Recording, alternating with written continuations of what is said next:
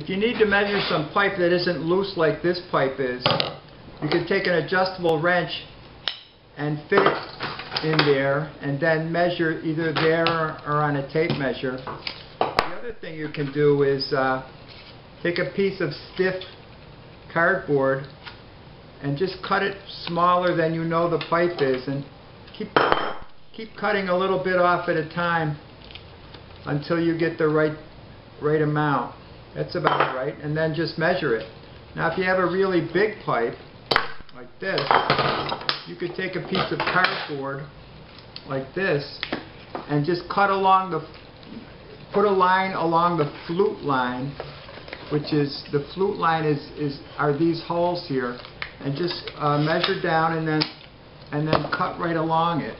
You don't have to you don't have to go back and forth. Just one line, one cut will do. And then you do the same thing as you did with the stiff paper. You just try to fit it in there until you uh, till you get it right. Don't go over.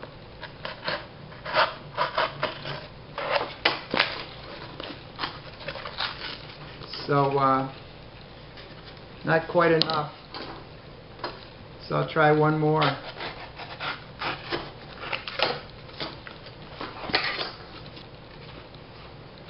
Yeah, that's about right. So then I measure, and there's my, my diameter of my pipe.